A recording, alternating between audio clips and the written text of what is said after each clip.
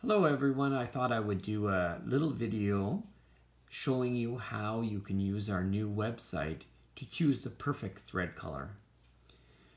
When you go to darrellthomas.com, you're going to be greeted with this menu.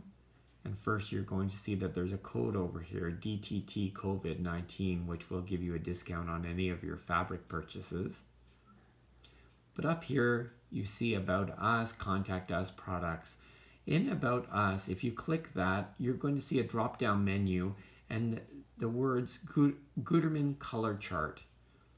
If you click on the Gutermann color chart, this shows you all of the numbers affiliated with each of each of the thread colors. So it makes your choosing much, much easier. And you go back up to products and you know you want to order your thread. You click on that and then you're going to go to the Notions page. When the Notion page opens, the first categories are all thread.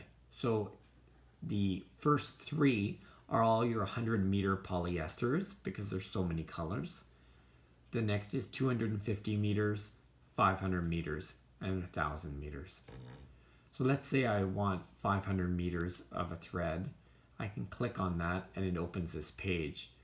A lot of people had a question, okay, well, if I, I click on this, I don't know what number each of those threads are. Well, there's a secret little device that will help you is if you look over here it says color 22 but over here there's this little triangle and click on this. That opens a drop down menu. So if I click the first number which is 010 you're going to see that this spool just changed to black and it's highlighted here. So it shows you that 010 is this thread and it's this color. If I go back down here and I click number 248, it now highlights this spool of thread and this is the color that you're ordering. Click 410 is now a red and there's the color that you're ordering. So if you want a smaller spool of thread, you can go back to Notions and we can go to 100 meter thread and it opens. So on this one, color 501 to 775 gives you all of these colors.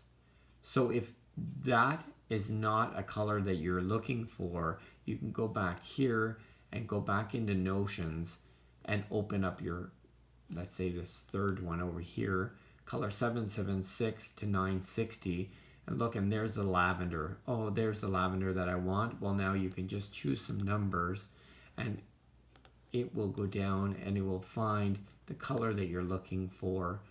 There's the yellow, 835, and if you go to 835, there it is highlighted there. So it's a fun little device. It really helps you find the colors that you're looking for. 911, just highlighted the lavender, and there it is up here.